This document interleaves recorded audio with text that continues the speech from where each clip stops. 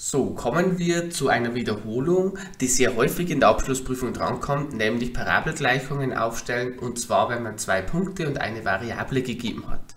Das steht auch immer so in der Abschlussprüfung dort, die, die Parabel verläuft durch die Punkte p und q, sie hat die Gleichung der Form 0,5x plus bx plus c, stelle die Gleichung der Parabel auf. Zuerst, wie lautet denn unsere Form der Parabel? Hier, wenn man keinen Scheitel gegeben hat, muss man immer die allgemeine Form nehmen, nämlich y ist gleich ax plus bx plus c. Und was wissen wir jetzt? Das a kennen wir, weil hier steht 0,5, das entspricht unserem a hier herunten. Wir kennen das p und wir kennen den Punkt q. Und jetzt haben wir immer dasselbe Vorgehen. Das erste, wir setzen einen Punkt, in dem Fall den P und natürlich den A hier in unsere Parabelgleichung ein. Dann steht dort y3 ist gleich 0,5 mal, hier habe ich das x, x also 2 zum Quadrat plus 2 mal b plus c. Und wir lösen jetzt nach einer der beiden Variablen auf. Normal löst man nach c auf, weil es die einfachere Variante ist. Das heißt, diesen Term erstmal vollständig vereinfachen. 0,5 mal 4 hoch, mal 2 hoch 2, 2 hoch 2 ist 4, mal 0,5 ist 2. Und jetzt einfach alles auf diese Seite bringen, minus 2, minus 2b und dann steht eben dort 1 minus 2b ist gleich c. So, damit habe ich den ersten Schritt abgeschlossen. Jetzt mache ich nochmal genau das gleiche mit dem Punkt Q. Ich setze also wieder hier meine Variable ein und den Punkt Q in meine allgemeine Form ein. Also 9 ist gleich 0,5 mal 5 hoch 2 plus 5b plus c. Und ich fasse einfach hier nur noch zusammen 5 hoch 2 ist 25, mal 0,5 ist 12,5 und ich bringe die 12,5 noch auf die andere Seite mit minus 12,5 und dann steht dort minus 3,5 ist gleich 5b plus c. Das ist meine zweite Gleichung. Jetzt habe ich zwei Gleichungen mit zwei Variablen. Ich setze also jetzt die erste Gleichung in die zweite ein und kann die dann auflösen. Ich nehme also diese Gleichung hier und setze hier unten statt c ein, weil das wäre unser c. Hier setze ich unten statt c ein, also 1 in 2.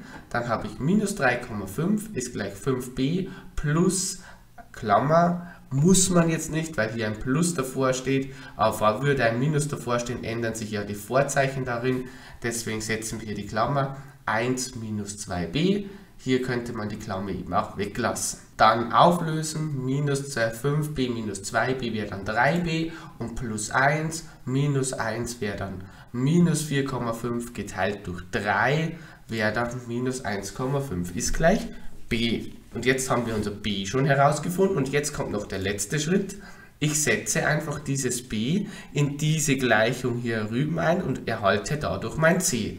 Also ich brauche nur hier in b einsetzen also 1 minus 2 mal minus 1,5 ist gleich c und dann bekomme ich für c4 heraus. Und jetzt habe ich mein a, mein b und mein c und kann die Gleichung angeben mit 0,5x minus 1,5x plus 4. So, machen wir noch ein zweites Beispiel. Hier habe ich wieder die beiden Punkte p und q gegeben und die Gleichung in der Form ax plus 2x plus c. Ich habe also hier jetzt nicht die Variable a gegeben, sondern die Variable b. Das ändert aber an unserem Vorgehen gar nichts. Ich setze wieder den Punkt p und die Variable b in dem Fall ein. Also 1 ist gleich a mal 4 hoch 2 plus 2 mal 4 plus c.